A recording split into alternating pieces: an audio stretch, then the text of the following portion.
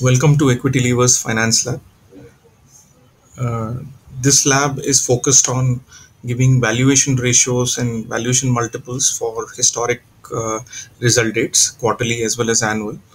And uh, this video, we will try to make try to make a point that you could have figured out why uh, there was a sudden spurt in the share price of Apollo Hospitals from by looking at past numbers alone. Uh, so now let's move forward. So I, uh, three data charts uh, up front. One is that the share price moved up after 2020 June and dramatically so. It's almost a 3x increase since uh, June 2020. Uh, EPS is uh, has not shown a marked increase. This is trailing 12 month numbers. Uh, it is in the same range as it was in the 2016. It's gone up marginally though. The P ratio has contributed all the increase in the share price from about 44 levels to 135 now. Now let's understand that uh, why, uh, despite being uh, in in 2019 06 the PE was 80 times and uh, which, which had already gone up quite sharply then from there it has further increased increasing the share price. Why can we spot it in the financials? Once again just to show this is the share price increase quarterly increase. This is the eps which is flattish. Uh, now coming to let's take the ttm which is much more clear to explain. So uh, once again the p uh, the price chart sharp increase here however if you notice the sales is very strongly up. Uh, disregard the last line because it is the latest number. It's repeated. So 2021-06 it shows a very good strong increase. The ebitda is also showing a strong increase over the same period just like price. However the net profit is marginal. So the clue in understanding the increase in share price lies in what is happening between EBITDA and net profit. So how can you spot that? You can spot that by going into growth and margin.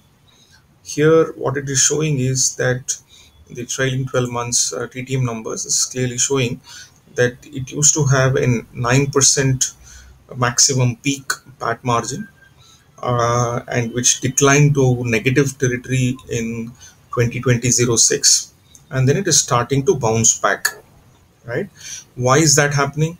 It is happening because the depreciation is falling and the interest rate interest cost is falling. Because of that there is more throughput beginning to show up. So why was the depreciation high? Because the con- company continued to in- invest and the net block grew now the net block is getting depreciated. It's there is no further increase. So till this period there was a sharp increase. Because of that there was a impact on the uh, the pbt was much lower. So so what are we saying? We are saying that you could have seen this that uh, let me go to the growth and valuation chart.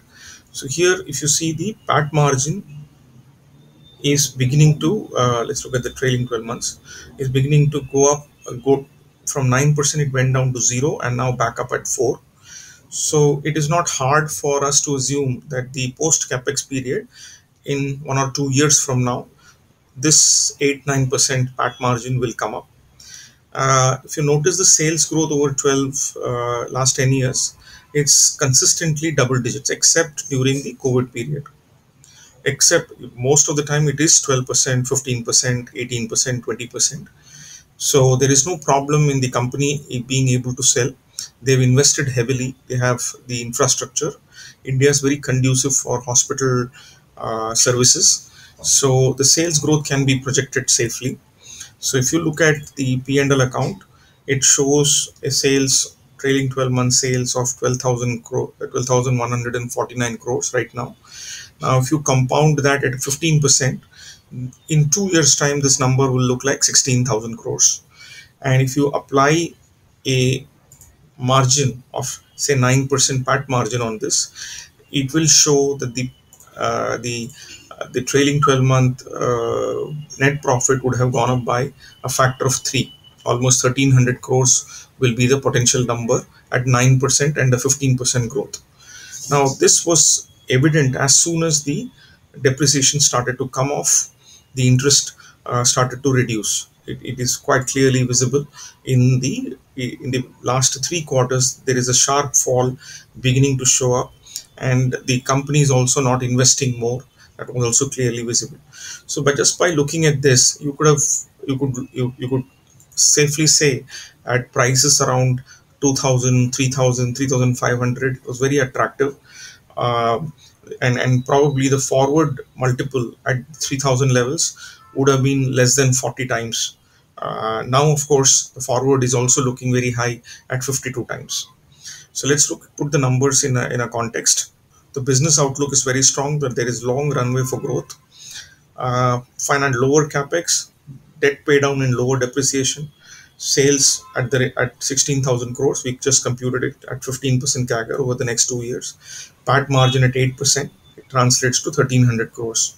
Now the PAT margin increases to 9 which is its peak and it will be 1500 crores. So based on current price it is 52 times.